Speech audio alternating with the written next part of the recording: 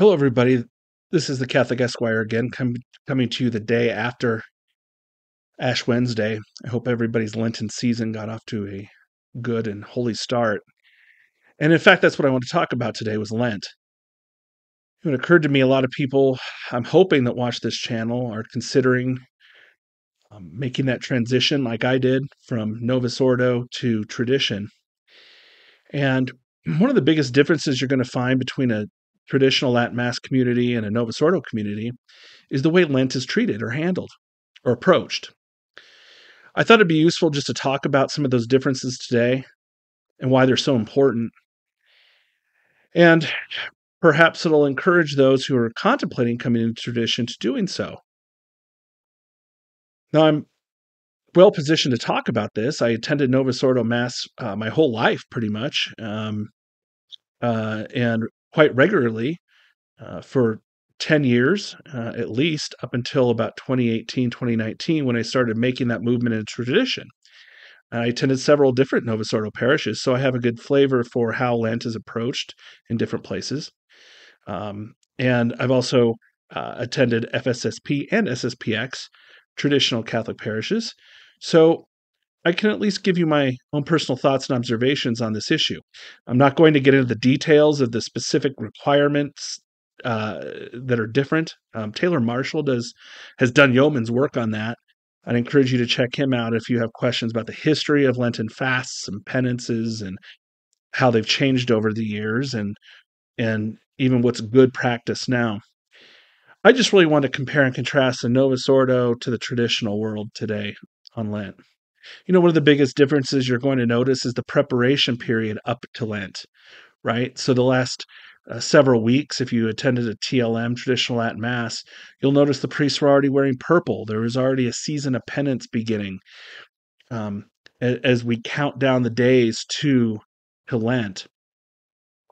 You know, why do we count down the days to Lent? Why do we have to prepare for Lent? Well, because traditionally Lent is supposed to be hard. It's supposed to be a fruitful, but nevertheless spirit, but nevertheless somewhat difficult period of time where we come to grips with the fact that we are, in fact, sinners. We've harmed God very much by our sins. That Christ, out of pure love and gift to us, but more importantly, as a matter of justice, had to die on the cross and suffer a bloody, bloody, awful passion and death because of the sins we've committed. You know, we have to come to grips with that. And that often involves detaching ourselves from things of this world,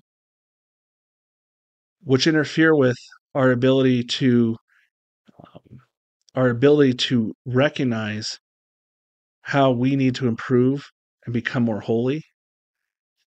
And that's why the church has always taught to engage in penances and fasting during this Lenten period. And they provided framework for us to do that, you know, rules. Um, I know people don't like to hear rules. No one likes to hear rules when it comes to spirituality. But really, the point is, is, is it's a gift from the church over centuries and centuries that have developed to help us become more holy because the church knows as fallible human beings we are attached to things of this world. And what are we most attached to? I'd say today americans are attached to entertainment sex and food. Those are the things that we are most attached to.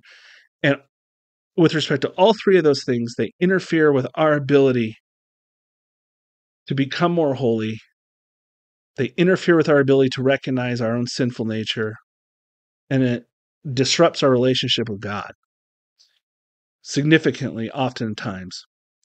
And so the church provides rules of penances and fasting. Unfortunately, now in the post Second Vatican Council world and Novus Ordo parishes, you're not going to hear about those traditional practices, quite frankly. Sure, you'll hear that you're not supposed to eat meat on Fridays now during Lent. But what about the other days of Lent? In tradition, at least as up to 1962, Um, you're supposed to engage in a fast and partial abstinence from meat every day of Lent. I mean, it, it, it's amazing. Um, we never heard about that when I was in the Novus Ordo parish because the church didn't require it anymore. I mentioned vid- other videos, they got completely rid of Ember Days, which also was fasting requirements. And they got rid of the partial abstinence and fasting requirement for the weekdays during Lent as well now. Again, that's just a way to kind of prick us, right? To try to remind us, hey, you know, Christ suffered a very painful passion for us in his death. We need we need to do better. We need to control our appetites. We need to control our passions. And having that constant reminder on a daily basis is really helpful. I certainly try to uh, follow that uh, requirement under the traditional calendar, um, and I'd encourage you to do that as well. So that's one of the big one of the big differences there. The other issues I think are more theological, quite frankly. It's the attitude. Uh, big difference between tradition and Novus Ordo world. I talked about in a video about a year ago um, how the calendar, uh, the new calendar, erased Passion Sunday. I'd encourage you to go check that out because I talked there about how the modernists distorted the notion of paschal mystery. They created a whole new theology around this notion of paschal mystery, which completely infiltrates the Novus Ordo churches with a new idea about the nature of Christ's work on the cross. And in that video, I talked about how the focus is shift from the notion of sacrifice and suffering and Christ's suffering for us on the cross as a matter of justice for our sins, for our salvation, to God's love for us. It was just simply done out of love, not because it had to be done out of justice or because we des- we deserve punishment. It was just because God loves us. He loves us so much. And then when we can focus on the resurrection, you know, let's de-emphasize that bloody, nasty death stuff, you know. That that kind of stuff turns people off. We don't want to talk about that. That's uncomfortable. Let's focus on the resurrection this is all goes into this notion of paschal mystery and it infiltrates all of the lenten season as well not just the elimination of passion sunday as i talked about in that video my friends we have to remember holy mother church is so good to us holy mother church for centuries upon centuries has taught that yeah we should be feel some guilt about our sins it's not just a matter of us be nice to our neighbors. It's not a matter of God just loving us no matter whatever we do, that we're going to be saved, just like the Protestants, Protestants think. You know, Lent is not just a time for us to, you know, be a better person, if that makes sense. I mean, ultimately, we want to become more holy, but it's not just a time for us to, yeah, you know, let's let's let's uh, shake a few things up and maybe we could uh, uh, be a little nicer to people and and uh, maybe we should just do those sorts of things.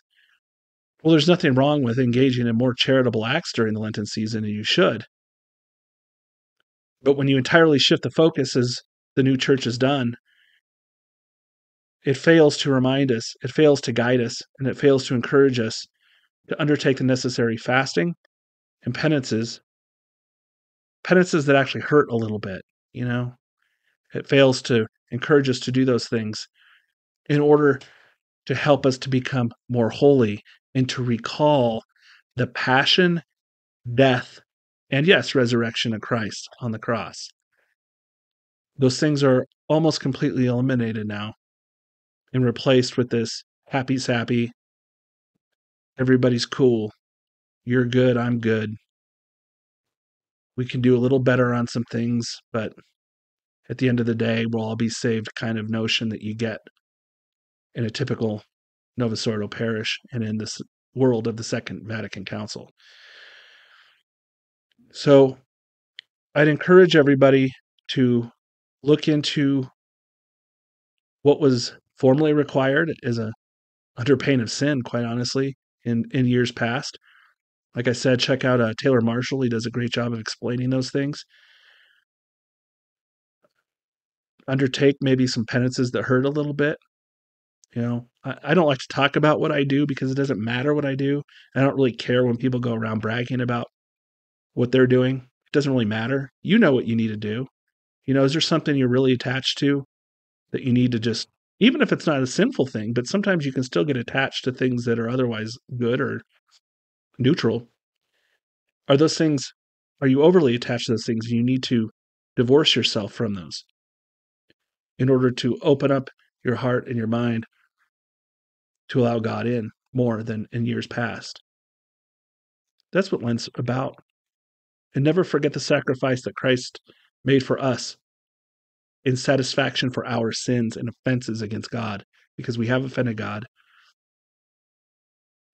Let us not forget those things. I hope this helps.